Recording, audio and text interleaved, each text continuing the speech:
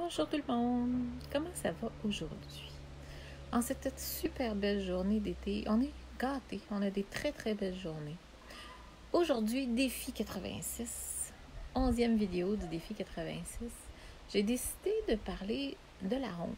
Est-ce que ça vous arrive, vous autres, de vivre de la honte? Hmm?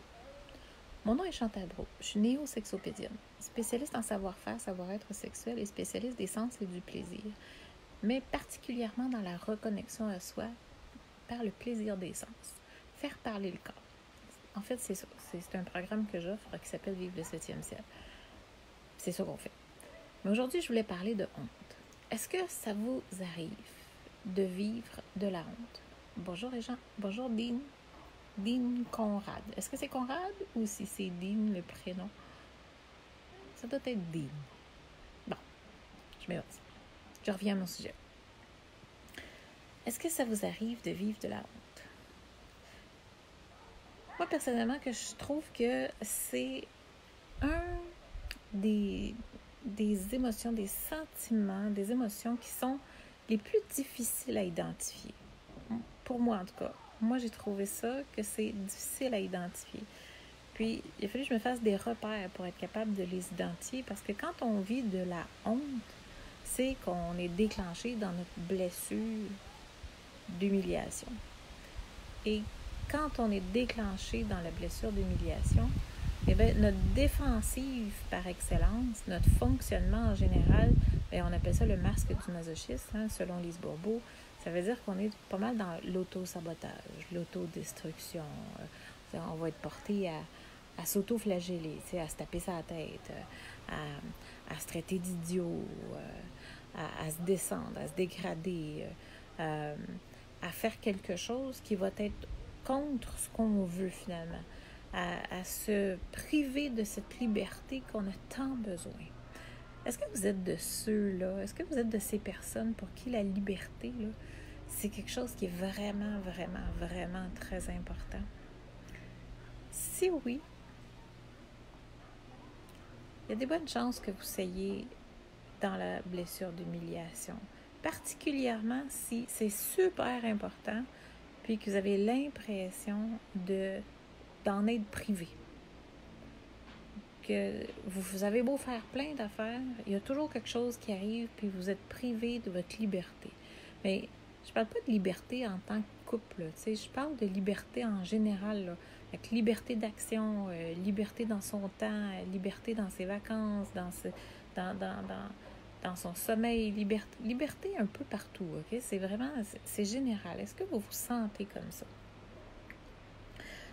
Parce que vivre la honte, c'est, c'est souffrant. Et c'est quelque chose qu'on a tendance à, à rabaisser. Si vous voulez un indice, de toute façon, quelque chose, il y a une coupe de, de, de de choses qu'on peut observer pour nous donner l'indice de voir est-ce que je souffre de la blessure d'humiliation. En passant, il y en a cinq. Hein? Il y a cinq blessures et l'humiliation en fait partie. C'est pas tout le monde qui souffre de l'humiliation. Mais si vous êtes porté à faire de l'embonpoint, vous êtes dans la blessure d'humiliation. Si vous êtes porté à manger vos émotions, à chercher quelque chose, avoir des rages, des rages de, de, de bouffe, mais des, des rages de bouffe, en général, c'est toujours des cochonneries. C'est toujours soit sucré, soit salé, soit des chips, soit quelque chose de mou, soit quelque chose de plus ferme. Ça dépend de quelle autre blessure qui est agencée à ça. Mais là, la blessure d'humiliation, il y a toujours soit le rejet, l'abandon qui vient avec. Puis, comment est-ce que ça se transparaît? Comment est-ce que ça se fait? Vais revenir un peu peut-être à mon exemple. Euh, ce qui m'aide à l'identifier beaucoup, c'est quand je suis pas fière, tu sais, le contraire de la fierté, là, c'est ça, c'est la honte. Quand je suis pas fière de ce que j'ai fait, quand je fais, ah, oh, ouais, je suis pas fière de moi, là, tu sais, ça, oh, j'aurais pas dû faire ça. Pourquoi j'ai fait ça? Euh, quand quand tu es rendu à te faire ce commentaire-là, euh, tu es déclenché dans la honte, tu es déclenché dans ta blessure d'humiliation. Puis, c'est important d'être capable d'y toucher de le sentir. Parce que ce qu'on a tendance à faire, c'est d'essayer de l'éviter, d'essayer de la fuir, de l'éliminer. Et c'est pas comme ça, en fait, que, que ça se passe. Si on veut euh, se sortir de là, si je peux dire ça comme ça, faut apprendre à l'accueillir. faut apprendre à l'accepter. C'est-à-dire que quand je la vis, quand je la ressens, cette honte-là, c'est de l'accueillir puis faire Oh mon Dieu, là, j'ai de la honte. Là, là je ressens de la honte. Puis d'être capable de faire la paix avec ça, d'être capable de l'accueillir, puis de dire OK, là, ça fait partie de moi, puis je vais y donner de l'amour. Ça a l'air drôle à dire, hein? mais je vais y donner de l'amour. Je vais l'accueillir. Parce que c'est ça se répète aujourd'hui, c'est une empreinte qui s'est créée à l'enfance, à la petite enfance. Et c'est tellement souffrant que c'est ça qu'on fait. C'est qu'on le prend, puis qu'on. Moi, je veux pas sentir ça. On tasse pour mettre ça de côté. Et si vous faites l'inverse, si vous faites. Ah, je vis ça, là. Là, je me sens. Observez-vous. Quand vous voyez. Moi, je sais bien là, que quand la, la, blessure d'humiliation est déclenchée, puis j'ai pas conscience nécessairement que je suis dans la honte, mais quand la blessure est, déclenchée, j'observe le physique, ok? C'est dans le corps beaucoup que ça se passe, et le comportement. Moi, j'observe que je vais être portée à chercher, là, je cherche, là, je regarde dans les armoires, j'ouvre le frigidaire, je cherche quelque chose à bouffer, je cherche quelque chose à manger. En général, ça va être soit euh, un gâteau, euh, quelque chose qui va être sucré, du chocolat, euh, euh, ça pourrait être des chips des fois, dépendamment comment je me sens. Euh, mais tu je cherche quelque chose vraiment. Là. En général, c'est plus du sucré, mais ça arrive que c'est du salé. ça, ça dépend de quelle autre blessure qui est jumelée avec ça. quand je m'observe que je cherche, puis pourquoi est-ce que j'ai pas faim? Tu sais, si je m'arrête là, j'ai pas vraiment faim. C'est une pulsion. C'est quelque chose qui me porte puis qui m'amène à vouloir aller chercher de la bouffe, aller chercher du sucré. C'est parce que, hop, il y a quelque chose qui se passe. Qu'est-ce qui s'est passé qui a fait que j'ai vécu de la honte? Puis ça, c'est vraiment pas facile à identifier. Fait que, je suis pas fière, je suis pas fière de moi, je suis pas fière de ce que j'ai fait, je suis pas fière d'avoir de, réagi de cette façon-là. C'est toujours quelque chose qu'on n'accepte pas qui fait qu'on réagit. Hein? Fait que de l'accueillir, et ça a l'effet inverse. De l'accueillir, d'en prendre conscience premièrement, de voir que c'est là, puis de faire ouais, OK. Ben là, je vis ça présentement. Puis juste de s'accueillir là-dedans, juste de se donner de l'amour, de laisser ça descendre, de laisser ça déposer. Puis, si vous voulez la manger, le, le, votre pulsion, votre cochonnerie, votre gâteau, mangez-le. C'est pas ça. C'est juste que prendre conscience du comportement. Puis vous allez voir que plus vous allez faire la paix avec ça, moins vous allez avoir ce genre de pulsion qui, qui, qui est masochiste quelque part, là, de ce genre de pulsion destructeur. Parce que je sais que quand je vais le manger, moi, ce gâteau-là, euh, un, je serai pas fière de moi de l'avoir fait, parce que je sais que c'est pas bon pour moi.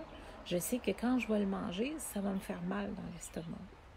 Puis même quand je le mange, des fois, le goût n'est pas super bon, mais le manger pareil. Fait que c'est vraiment une autodestruction en dessous de ça. Là.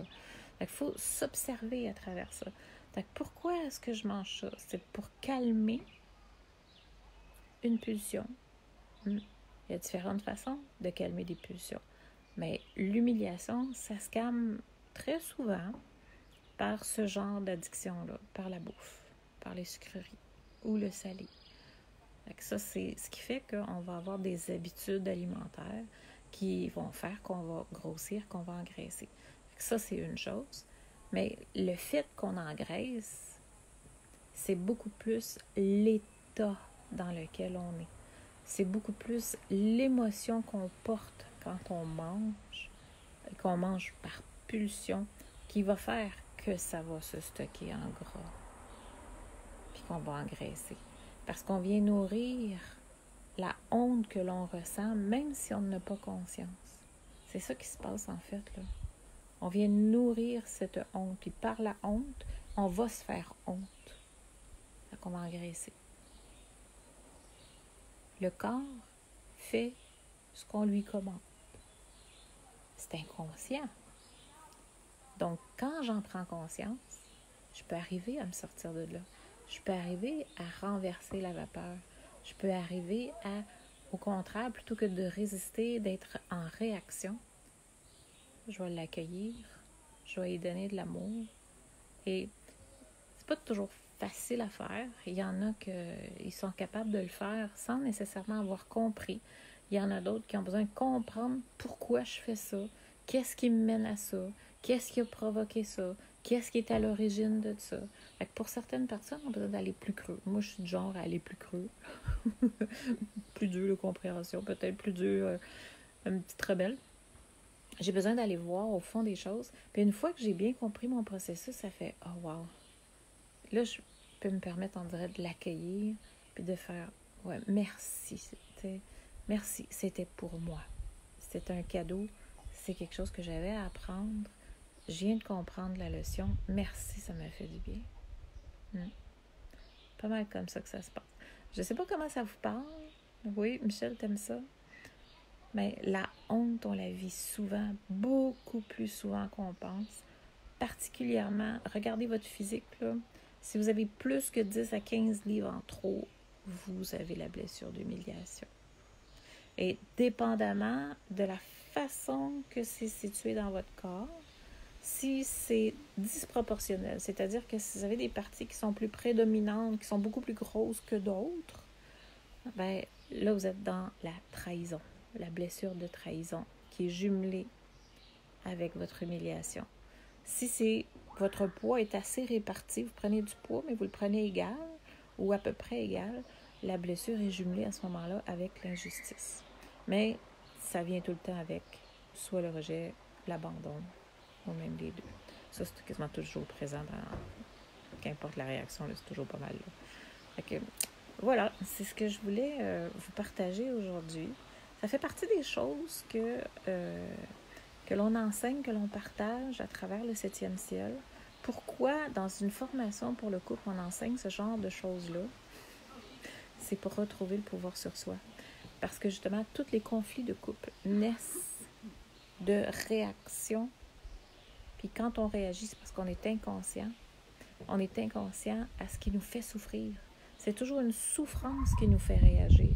Fait que si je comprends pas mes blessures, si je comprends pas mon fonctionnement, je vais avoir de la difficulté à être en relation avec l'autre parce que je ne le suis pas avec moi-même.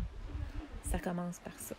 C'est ça, dans le fond, la formation septième ciel vivre et toucher le septième ciel, c'est de comprendre son processus, reconnecter à soi et faire parler le corps pour qu'il nous enseigne, nous démontre qui nous sommes, qu'on a tellement caché, qu'on a tellement écrasé, qu'on ne voulait pas voir. C'est ce qu'on fait à travers le septième ciel. Et sur ce, moi, je vous laisse. On se revoit demain pour une autre vidéo. D'accord. Bye bye. Oh, il y a une chose que je voulais vous demander, parce que j'aime ça vous faire des vidéos, hein, puis il y en a quelques-uns que je peux voir, tu sais, je j'en vois 4-5 qui sont là. Euh, Michel, je te vois, Eric, Annie Deschamps, je te vois, Dean, et euh, j'ai Régent qui est là aussi. Euh, comment les femmes se sentent euh, par, par c'est pas juste les femmes, hein, c'est les hommes aussi, Michel. On est tous là-dedans, on est des êtres humains. Hommes ou femmes, là, on a tous, on a nos on n'a pas tous les cinq blessures, mais on porte tous des blessures d'hommes. C'est la raison pour laquelle on vient ici. C'est la raison pour laquelle on est dans un corps terrestre. on en porte tous, là. C'est pas juste une question de femmes. Et chaque individu a son côté féminin et son côté masculin. Ce qu'on cherche, c'est d'avoir un certain équilibre. Et chacun de ces côtés nous apporte et des forces et des faiblesses. C'est à pouvoir puiser et équilibrer ça. Mais à comprendre ce processus-là, ça nous aide beaucoup, en tout cas, à, faire la paix avec soi, d'abord. Et ça nous aide à être en relation avec l'autre. Fait voilà, c'est ça. Ce que je voulais vous demander, parce que là, j'ai été distrait par Michel. Ce que je voulais vous demander, c'est j'aimerais ça que vous me fassiez un petit coucou. Que je puisse voir qui qui voit la, la, vidéo, à qui est-ce que je m'adresse. Euh, c'est. Tu sais, des fois, tu as l'impression que tu parles à trois, quatre personnes, tu. Mais j'aimerais ça savoir, tu avec qui je suis en contact, avec qui je suis en relation lorsque je parle. Puis ça, ça peut m'inspirer à faire d'autres vidéos aussi en même temps. Je sais du temps que je pesais 546 livres. T'es-tu sérieux, Michel? Wow, ben bravo, bravo, bravo, bravo, je te félicite. Oui, coucou. c'est quelque chose. Oui, 500. Fait que t'es dans l'humiliation pour vrai, toi.